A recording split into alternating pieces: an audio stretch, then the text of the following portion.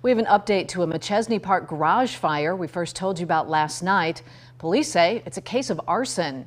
Jeffrey Oliver was arrested at the scene. The 55 year old is charged with residential arson. He also faces drug charges. Police and fire crews were called to the Harbor Oaks home around 6:30 Wednesday evening.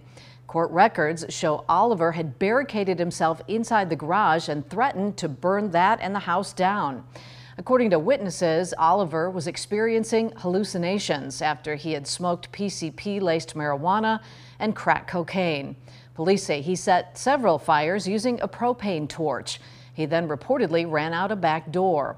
Oliver was caught a short time later. He was medically cleared at the hospital before he was taken to the Winnebago County Jail. He's being held without bond.